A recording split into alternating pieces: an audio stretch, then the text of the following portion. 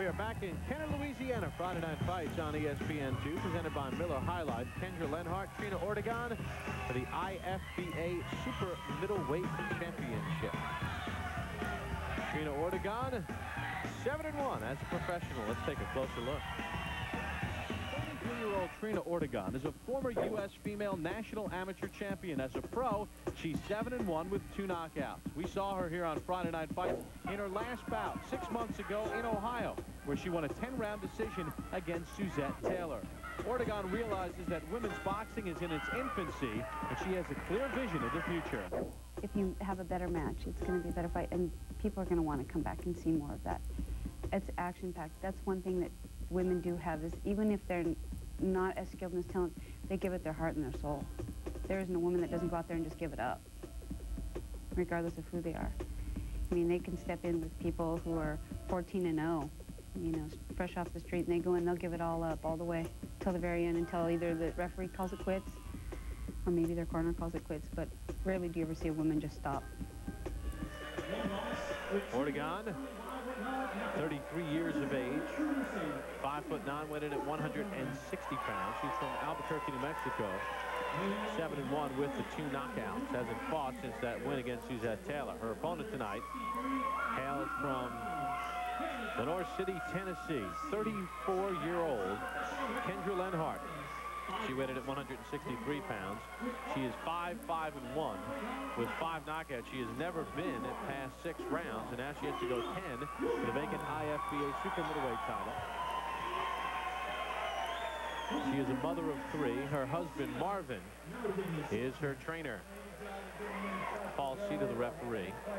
For our second bout of the evening, earlier, Marissa Shaw, controversial split decision against Sofia Kuderusova. And there is Kendra Lenhart back to her corner. She fought on January the 13th of this year, first round stoppage of Lisa McQueen. She also fought Suzette Taylor. She was knocked out by Taylor. In fact, Lenhart has all five pro wins are knockout wins. And three of her five losses are knockout losses. And she's standing straight up. She's liable to get knocked out here. If Ortegon is able to time a right hand or a left hook, as the taller Lenhart pulls straight back with the chin up in the air. You can see why she's been knocked out. She will pull straight back right there. That right hand just missed. Left hook landed. She's going to get nailed, Bob.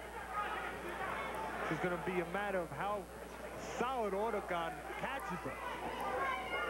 Lenhart played college basketball at Delta State University in Cleveland, Mississippi, and she also threw discus. Now she is a high school health and phys ed teacher and coaches basketball and track.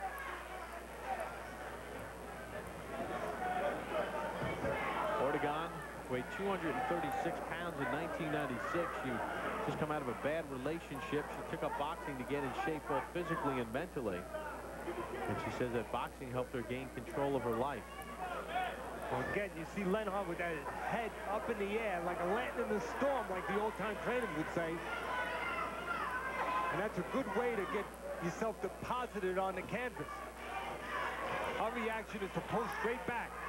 And Ortegon, who is aggressive, she steps in, she's going to nail her. Teddy, you can clearly see the skill level here as opposed to our first fight between Shaw and Kuderusova. Drastically different. Yes, they haven't had big amateur backgrounds, these girls. They started later, haven't had a lot of amateur available to them. Lenhart was in a couple, believe it or not, tough man contests. That's how she got started because her husband was in some tough man contests. Final seconds of round one, Ortegon's power shots telling the tale. Want to color your gray beard or mustache and get a natural look? It's easy with Just for Men Gel. You look so natural, no one can tell with Just for Men Gel. No one can tell with Just for Men Gel. It's not regular hair coloring. It's specially made to penetrate that coarse, hard-to-color gray. Simply brush in and in five minutes, rinse. Now gray is gone, matched up to the rest of your hair. You look so natural, no one can tell with Just for Men Gel. That's your seven Slim Jim.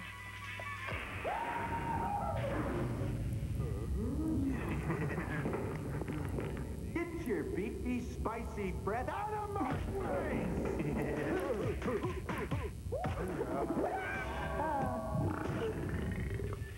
Antacid, aisle two.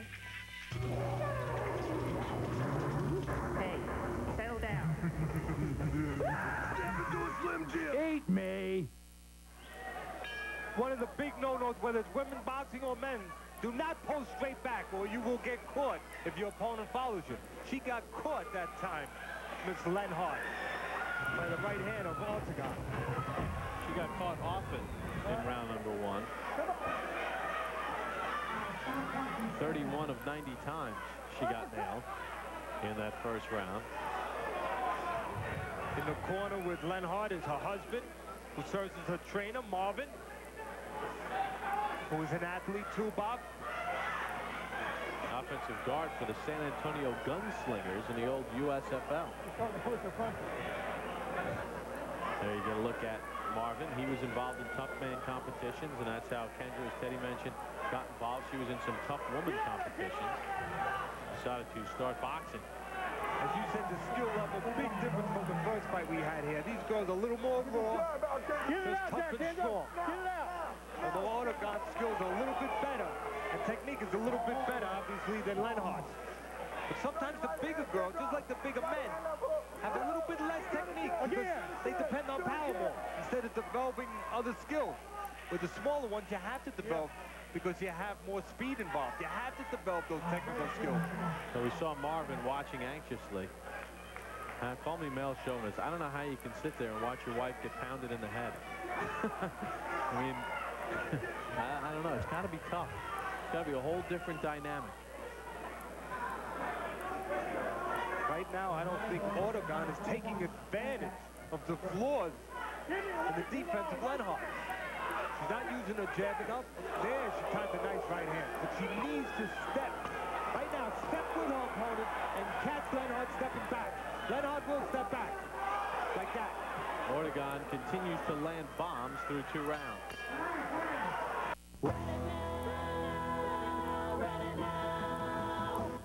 Rent it now when it's yours in 12 months. Save hundreds on TVs, VCRs, bedrooms, and more at Rent It Now. Rent anything and get 200 minutes of free long distance and seven free lottery tickets. Save with this new Coventry sofa and chair for only $22.95 per week, and it's yours in 12 months. Free long distance, free lottery tickets, and great prices.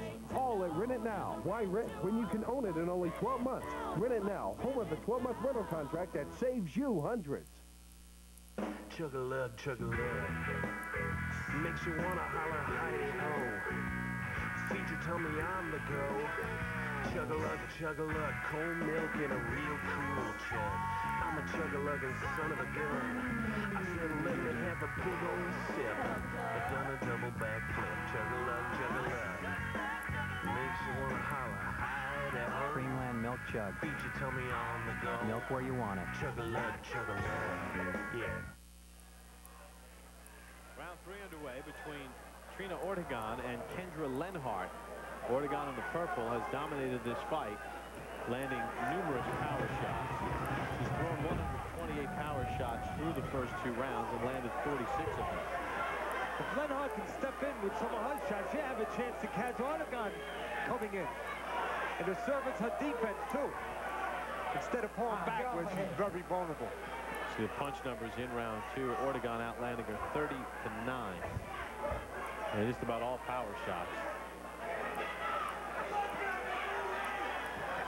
Good left hand by Ortegon. Instead of pulling straight back, what Lenhart needs to do is step in because Ortegon can be a little wide too, coming in. Lenhart looks like she can throw a straight right hand when she wants it. She should step in with that. That would not only serve offensively, like I said, defensively would really help Lenhart. Because when she pulls back, she's wide open.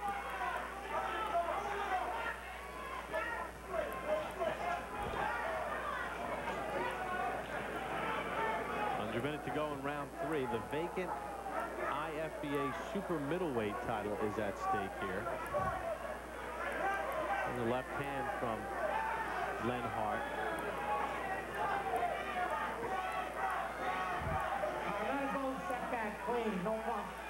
Right here now, Lenhart needs to step in with the punches, not pull back. Step inside one of those punches of Ortegon. Start catching up a little bit. Nice left hook that time on the inside by Lenhart. She needs to put the right hand with it. She needs combinations right now. Now number three coming to its conclusion. Lenhart able to do some work on the inside, and then she eats another big shot. And she gets tagged again as the bell sounds to end round number three. But we saw her husband, Marvin, looking on earlier. And you wonder how you can kind of sit in the corner and watch your wife get pounded in the head. That's Ron Dininger in the ring, and there's Marvin outside the ring. There's Marvin to the right. We asked Kendra what it's like to be trained by your husband when you do lose your cool that you do have to go home with this person later. that uh, we do actually live together. We can't just get mad at each other and he go home to his wife and I go home to my husband. Um, we have to go home together. So uh, the lines of communication are very important. Uh, we've always, I, I would, I guess, brag on that, say we've always communicated well and always been best friends and sports buddies. So if we keep that going, you know, there are times when you are mad at each other about it and, you know, you shouldn't have said that or you take it you sometimes have to watch and not take it personally, but take it as a coach telling you, and it's not so personal. And sometimes you kind of don't take it that way. You kind of want it to be personal because it's your husband. Then again, say, well, that's coach. It's not personal. So you kind of have to throw that out the window. It's probably a little easier for Lenhart because she's been in organized sports, being a college athlete in both track and basketball at Delta State. So she's used to that being coached because she's been coached for a long time. She was an athlete in high school as well. And she's a coach herself. So it probably makes it a little bit easier, even though it's coming from your husband. Well-spoken woman there. I wonder who does the dishes in that household, though. You think it's automatic that the woman just does the dishes? I'm not so sure. No, probably not. Well, Marvin's tough guy, too. he, literally, he was a tough man. and a college and a professional football player. So Ortegon has the huge edge in this fight. Punches landed, punches thrown, all the power shots. And the other problem for Lenhart here, we're in round number uh, four. Remember, Lenhart has never been past six rounds. This thing is 10. Lenhart, the taller girl, is not using her height well. She does not punch at the right time. Matter of fact, her height is a disadvantage because being tall, she'll pull straight back and leave herself to be quite a target, which she's done several times tonight. She's fighting the short person's fight. She's fighting inside. You hold her. But in own way, she realizes because of her flaws, she's better off inside. At least she's not standing up and pulling back. When she's inside, she smothers Ortegon's punches. When she's outside, she gets caught. Because she pulls straight back. Lenhart, that is. Yeah, good short right and the left hand by Lenhart scored. Yeah, better round for Lenhart. Very game, very game.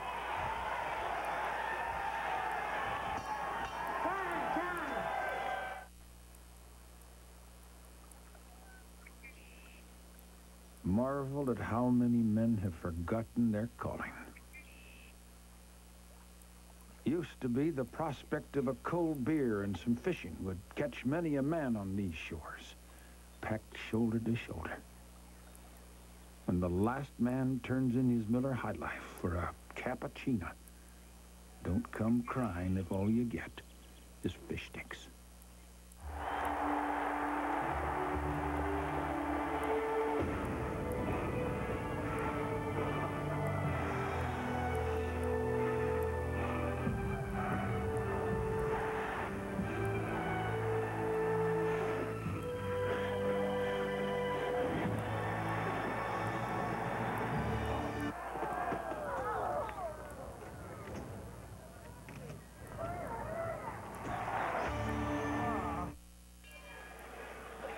Welcome back to Friday Night Fights here on ESPN2, presented by Miller High Life. Bob Papa, Teddy Atlas. We're in Kenner, Louisiana.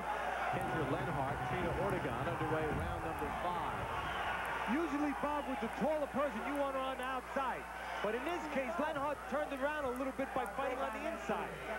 Because she takes away when she's on the inside. At least she's not vulnerable to those long punches from Ortegon. She doesn't pull straight back.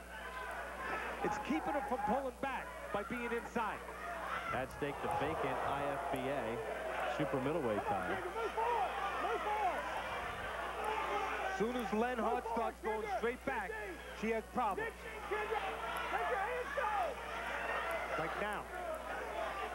She dropped right back in close. Her instincts told her, get in close. Don't give distance to Ortegon.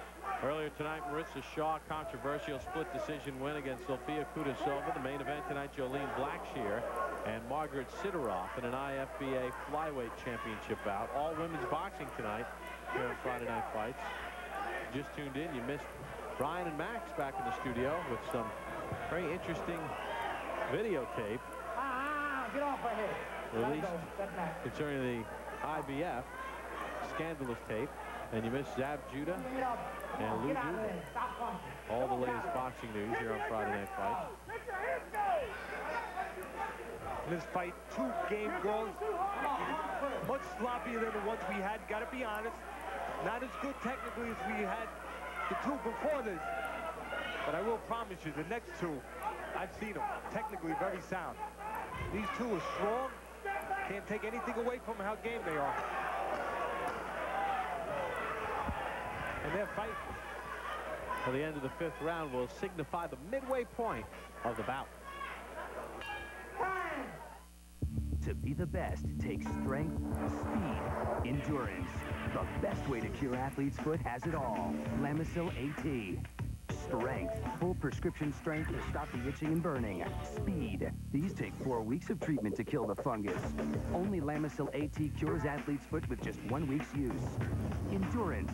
A study showed most users were still athlete's foot free three whole months later. Get it all in Lamisil AT, the best way to cure athlete's foot. Make sure you join us next week here on Friday Night Fights. We'll be in Atlantic City. Former champ Angel Manfredy will take center stage in our main event. Manfredy looking to get himself right back in the title picture. He'll take on Sean Fletcher from Atlantic City, New Jersey. Next Friday night here on Friday Night Fights on E ESPN2, presented by Miller High Life, 9 p.m. Eastern, 6 p.m. Pacific. Friday Night Fights on E ESPN2. Manfredy and Fletcher. Should be a good one. And we are underway with round number six between Trina Ortegon and Kendra Lenhart in a power punch festival. Neither woman has been down. Ortegon has had the big edge in his fight as far as punches thrown and punches landed. Good left hand, though, by Lenhart. Lenhart could still turn this fight around if she would punch at the right time. Because Ortegon is right in front of her. See, one thing that I have to give credit to Lenhart, she's not tremendously skilled or technically real sound, but she was smart enough, or her corner was smart enough, to make an adjustment in this fight. She's not pulling straight back anymore. She's staying inside where she's smothering a lot of the punches that were landed earlier from Ortegon. Punch numbers through five rounds. Huge edge for Ortegon in every category. We mentioned in the corner of Lenhart, her husband, the trainer, Marvin. Course, in Ortegon's corner, Irene Garcia, one of the early pioneers of women's boxing. And we'll get a chance to talk with Irene, hopefully the next round. Mentioned she fought in smokers in the 70s, bar fights against men. That's one tough lady. And a nice lady. We had the privilege of meeting her once before at a, in a card where Ortegon fought on with on ESPN once before. Her last fight, August the 6th, when we were in Ohio. This fight has gotten a little bit sloppy. Both girls inside. One of the reasons is Lenhart is bringing it inside so she doesn't get caught like she did early on the outside. And she has done a better job on the inside. This is the face of erectile dysfunction. So is this. And this. Fact is, one in three men have some form of ED, a medical condition also called impotence that affects men of every age, race, and background. What else do all these men have in common? They all faced up to their problem and got help. If you're experiencing ED, there's no need to hide your face.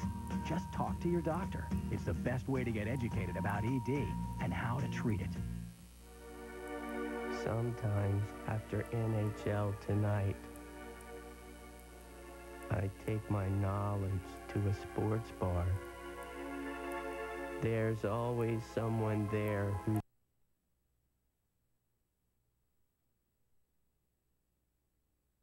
underway in this 10-round bout. Vacant IFBA super middleweight title at stake. Trina Ortegon and Kendra Lenhart. Kenner, Louisiana, located about 20 minutes outside of New Orleans. That's where we are tonight.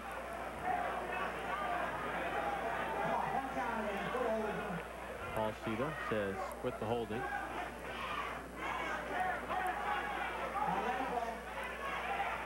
Well, Teddy, we talked about Irene Garcia. She is the trainer for Trina Ortegon. And she joins us right now from the Ortegon corner. Irene Bob Papa, Teddy Atlas, uh, early in the fight, Trina had her way with Kendra, but it seems like Kendra's brought the fight inside and she smothered a lot of Trina's punches. Yeah. Yeah, um, this girl's strong. This girl's real strong. But uh, I, I think we're going to pull it out.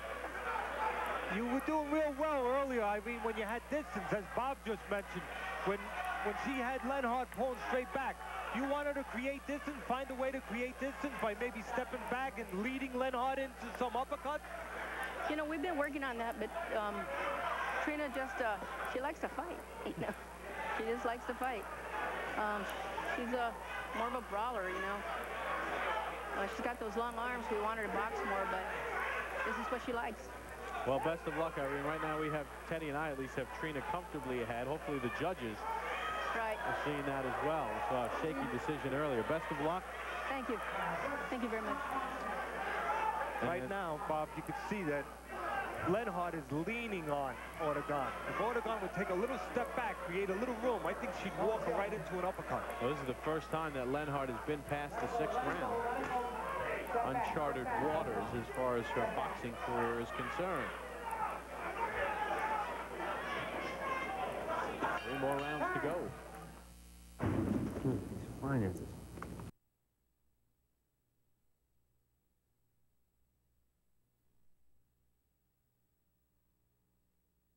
by the one and only Miller High Life. Glad you can join us for Friday Night Fights each and every week.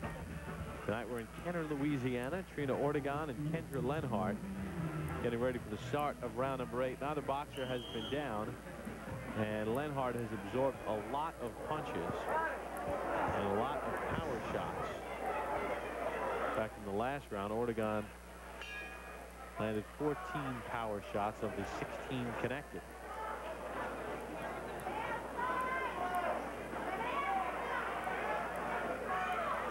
That about has lacked form. Uh, neither woman really skilled as far as boxing, much more brawling type. Right here, Back to moving a little bit. and she moves and she starts pulling back. She'll put herself in position to start getting nailed those those punches she was getting nailed earlier with. Because she's avoided the last couple rounds by smothering Ortegon. She does have an advantage, Lenhart. It's that she's the bigger woman. Last fight, she 174 pounds. Six times, Bob, she's been 170 pounds or more. As heavy as 177 pounds two times.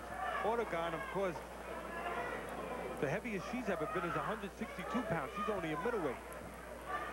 So what that means is Lenhart being behind in this fight needs to step in and use that power. Step in and try to catch Ortegon coming in. She's got some pop. She's got five knockouts.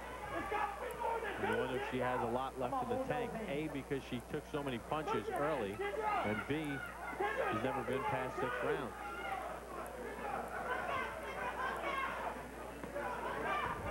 Not going past six rounds, that's as much mental as physical because she just doesn't know how much she has left. A person that's been past six, they know.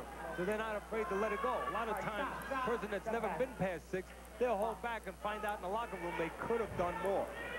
That's what experience helps you. Let it go and punch. Let it go. Or lack of experience hurts you. Some good body work there. Some uppercuts to the body by by the taller Lenhart. She should do more of that. Well, mostly clutching and grabbing in a nondescript round eight. Did you know it can actually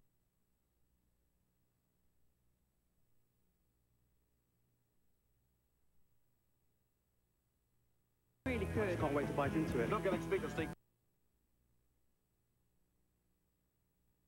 I say to me, It's really nice texture. Scrumptious. I get set for the start of round number nine between Trina Ortegon and Kendra Lenhart. And as this fight has wore on, there has been less and less style to it. A lot of clutching and grabbing in the last couple of rounds. Let's see if Lenhart can open it up a little bit, try to make something happen. Teddy, you and I both have her pretty far behind in the fight.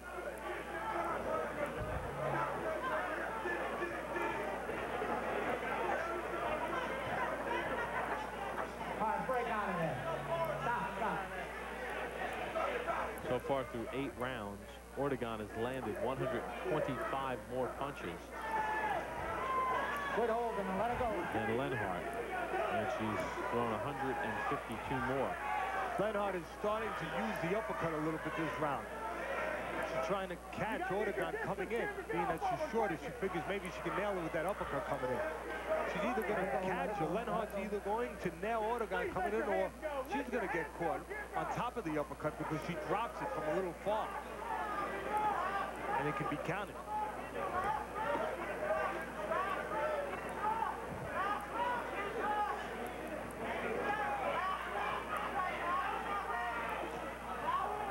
Teddy's scorecard through eight, 79, 74 Ortegon.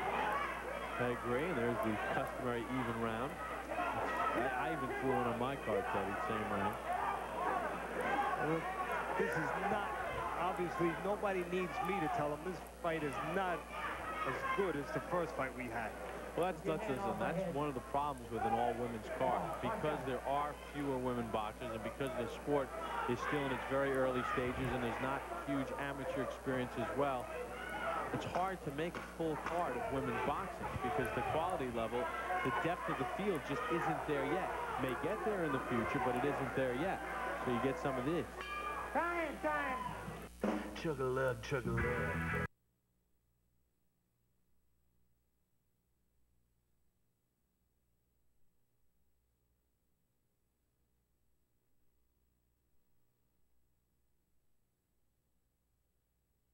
background, handling all the other fine details in our truck, our fine production crew as we bring you Friday night fights each and every week from across the United States of America. And Trina Ortegon and Kendra Lenhart underway in the final round. One thing that these girls, as we said, we think honestly, is they lack some of the skills and finesse, some of the better girls, but they don't lack the heart. You have to say that. Plenty of heart. Lenhart trying to land those big punches and she gets tagged with a left. Scores with a left of her own. Yeah, Lenhart has thrown a lot of arm punches. Being that she's the taller girl, she needs room to punch, so she pulls her arms back. Why? When she's in close like that, which is not real good for her, although she smothered a lot of punches by being in close. That was a good uppercut she just threw to the body. But when she's in close, she needs to pull her arms back to punch because they're so long. And that creates an opening for Ortegon to punch inside. Very, very rarely you see a boxer with long arms real good on the inside. There's husband Marvin. Get off of her! Throw the fight! Hoping his wife can maybe get that knockout.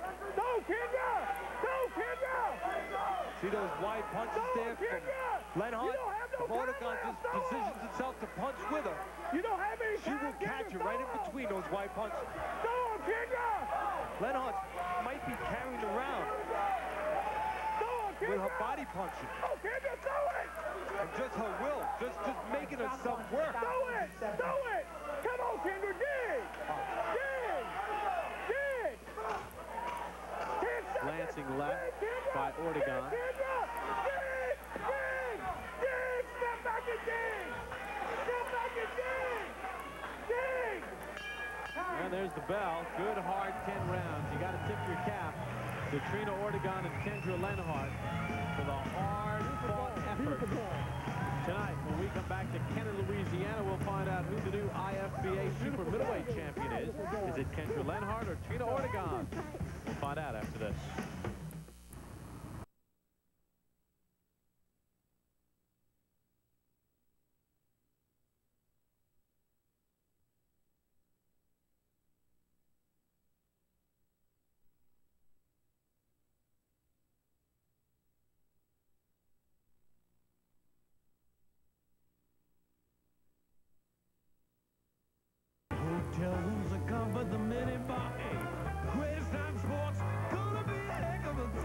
Greatest athletes of the decade live from the MGM Grand February 14th at 8 p.m. on ESPN. The punch numbers are staggering in favor of Trina Ortegon. She landed 128 more. She threw 170 more. But As we saw in our first bout, that doesn't necessarily equate to a decision. Teddy scorecard 98-93 for Ortegon. I agree. Here is Thomas Traber with the decision. Ladies and gentlemen, after 10 rounds of boxing, we go to the scorecards, and we have a unanimous decision. Judge Penny Sanchez scores about 96 to 94. Judge Russell Nutkins scores about 97 to 93. And Judge Johnny Femia Jr. scores about 98 to 92. All in favor of your winner, and now IFBA Super Middleweight Champion, Trina Ortegon. So Trina Ortegon with a unanimous decision win. And she improves to 8 and 1, and she is the new IFBA Super Middleweight Champion. Good effort by Kendra Lenhart. Still to come, our main event, Jolene Blackshear and Margaret Sidoroff. Now we send it back to Brian and Mad Max. And Max, I say that lovingly. I love your enthusiasm like Vernon Maxwell in the NBA. I thought he was talking about the movies, uh, Mad Max. Yeah, it's Beyond Thunderdome. Nothing wrong with that. We have